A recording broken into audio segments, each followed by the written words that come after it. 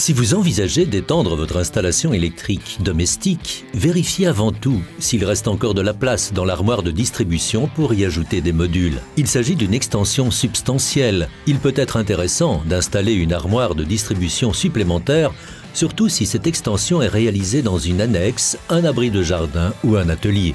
Déterminez en premier lieu où sera placée cette nouvelle armoire de distribution. C'est là qu'arriveront toutes les nouvelles conduites. La nouvelle armoire doit idéalement être montée à mi-hauteur, à environ 1,50 m du sol.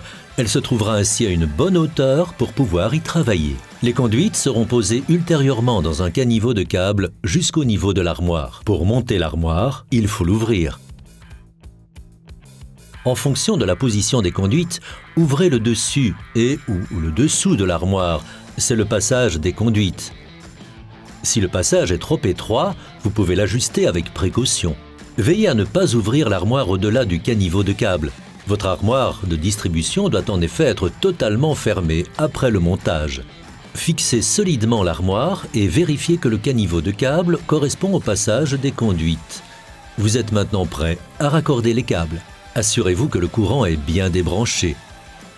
Retirez la gaine des conduites pour permettre leur parfaite insertion dans l'armoire tirez les fils dans le passage. Si le câble est beaucoup trop long, vous pouvez le raccourcir quelque peu.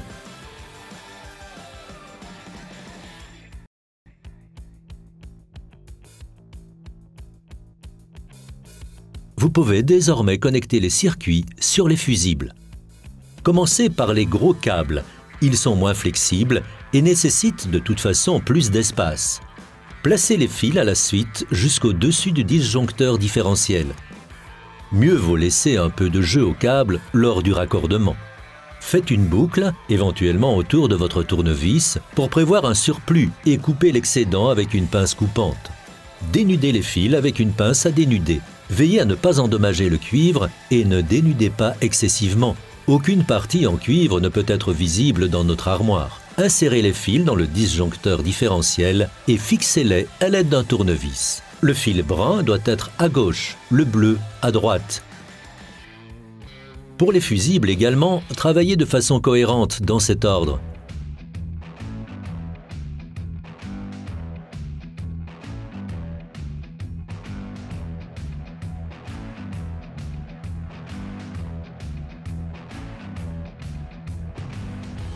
Vérifiez à nouveau toutes les vis après le montage et couvrez-les avec les capuchons de protection fournis. Vérifiez à nouveau qu'aucune partie en cuivre ne dépasse. Vérifiez aussi à nouveau les vis. Repositionnez le panneau avant sur l'armoire de distribution. Protégez les modules inutilisés avec des plaques de recouvrement. N'oubliez pas qu'après chaque extension significative, votre installation électrique doit à nouveau être contrôlée. Si vous avez suivi notre plan par étapes, ça ne devrait être qu'une formalité. Bon travail en toute sécurité.